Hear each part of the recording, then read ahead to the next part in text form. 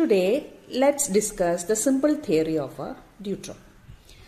Uh, we did have a detailed discussion on uh, the deuteron, and the deuteron is the simplest state of a bound state of a neutron and a proton. So, in this session, uh, we will be discussing or we will be arriving at uh, the binding energy of a neutron and a proton with the help of simple solution of a Schrodinger equation applied to a three-dimensional square well potential. So here, before going to the detailed theory, we have to have a discussion on the figure describing the bound state of a neutron and a proton.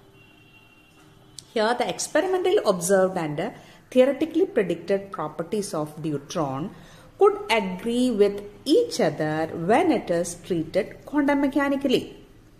For the purpose, let us assume neutron proton potential in the deuteron as a three-dimensional square well as shown in the figure.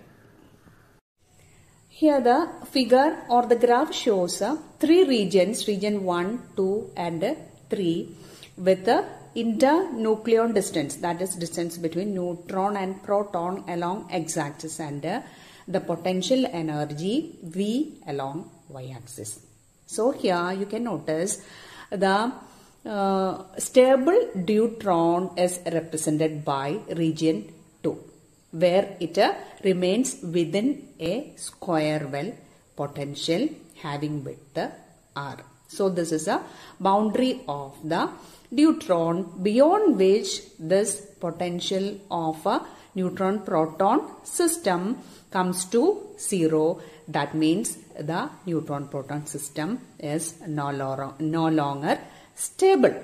And before region 2 that is in region 1 this neutron proton distance is less than the stable one that means they are repulsive to each other so when they are repulsive to each other there also this neutron proton system remains unstable so the only region where the neutron proton system that is a neutron a deuteron uh, is stable is a region 2 where there is it, it, that it is in, inside a square well potential. So here we have to apply Schrodinger equation to this square well potential with the potential V0 uh, to find out the binding energy of a neutron and a proton. So next we'll pass on to a brief explanation of a this brief description of uh, this graph and afterwards we'll go to the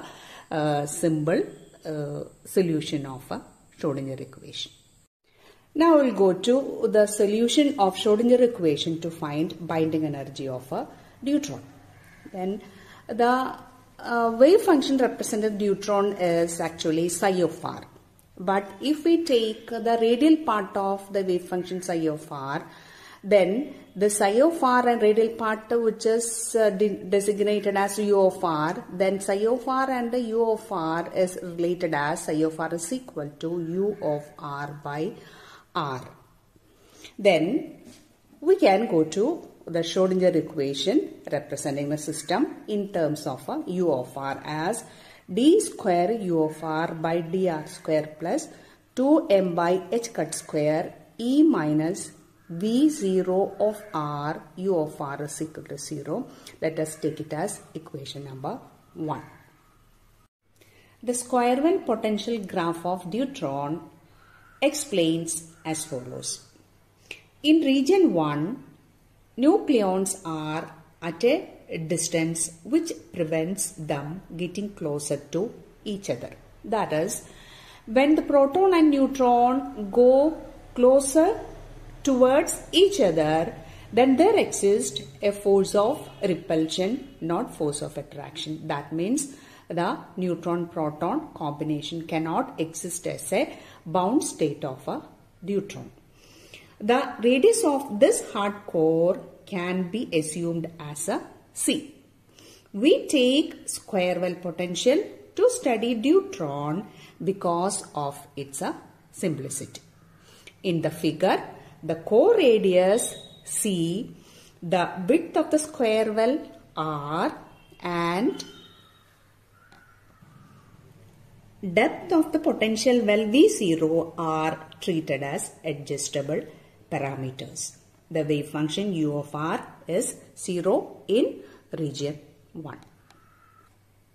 In the graph, in region 2, the potential of a, potential of a, a square well is V is equal to minus V0 and the binding energy is equal to minus EB.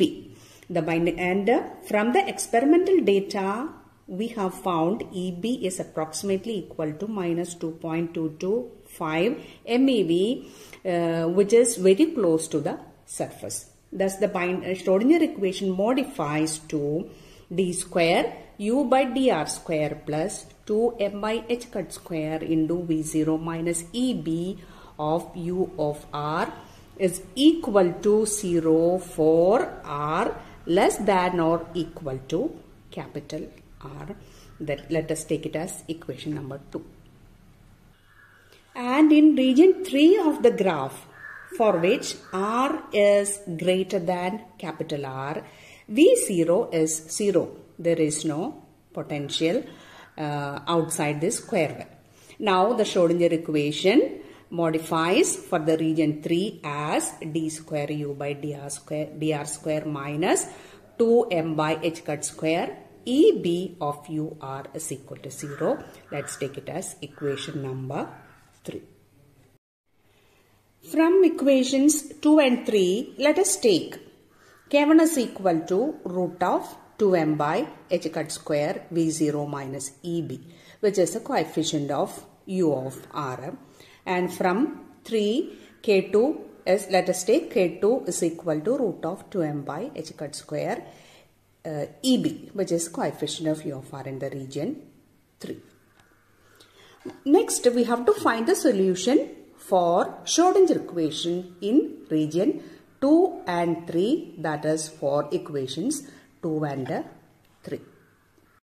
The general solutions for Schrodinger equations in region 2 let us examine the general solution for Schrodinger equations in region 2 and 3.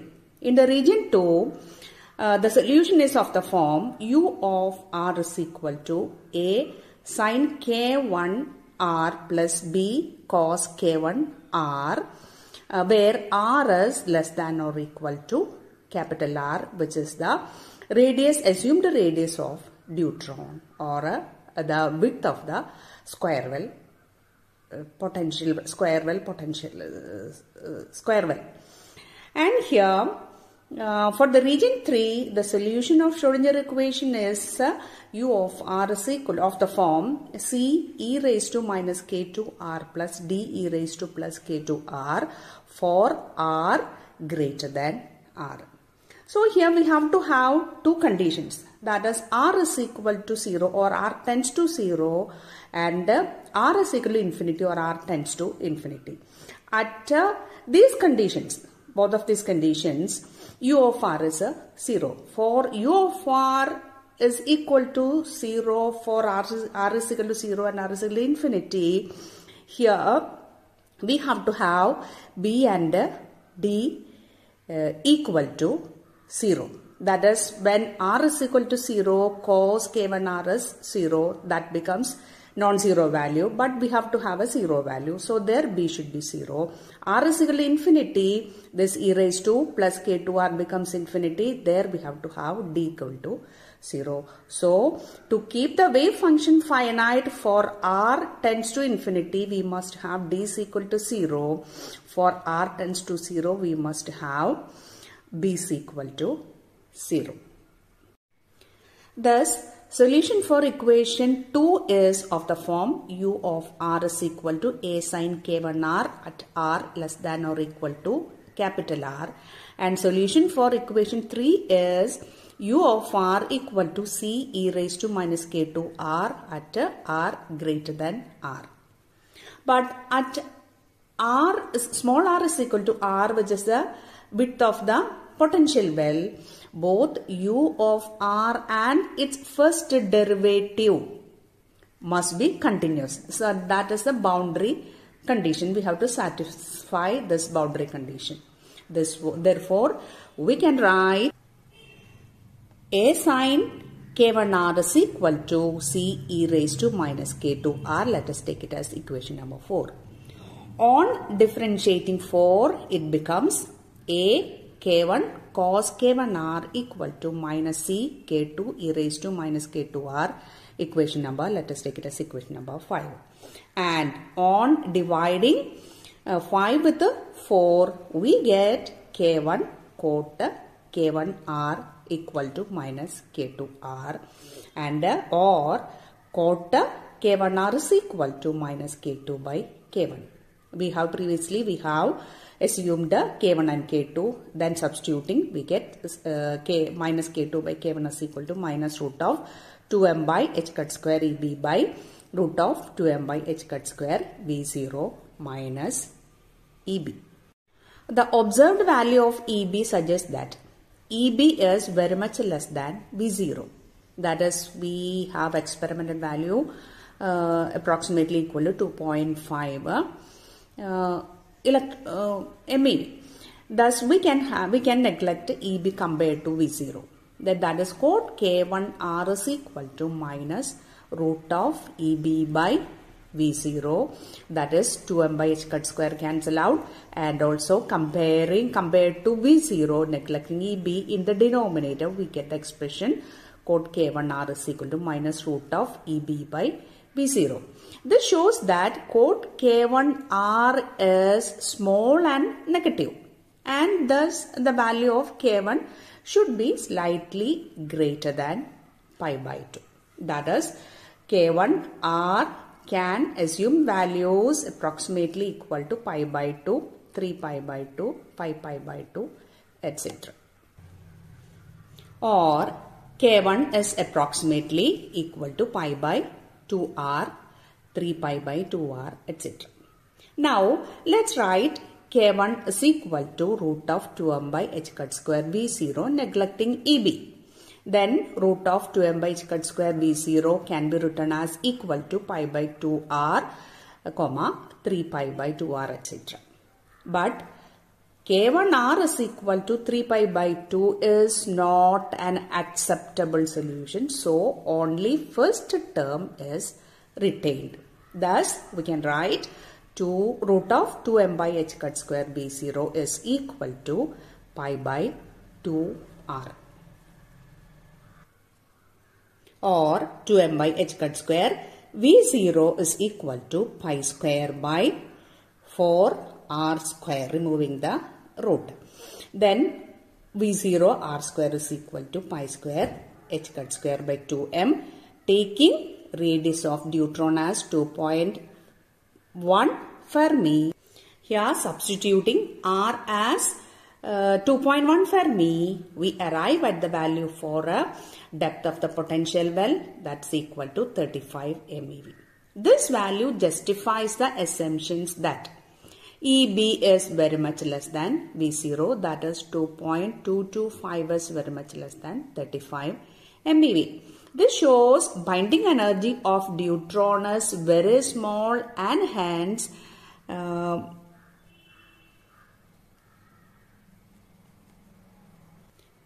nucleons are just barely bound. Thus, it's clear that the force between neutron and proton in deuteron is very weak and the bound neutron is very close to top of the well you can see the binding energy here. Fortunately formation of deuterium from fusion of hydrogen help our sun make its energy. Also the first step of the formation of stable matter that fill the universe. Hope the theory is clear for you. Thank you.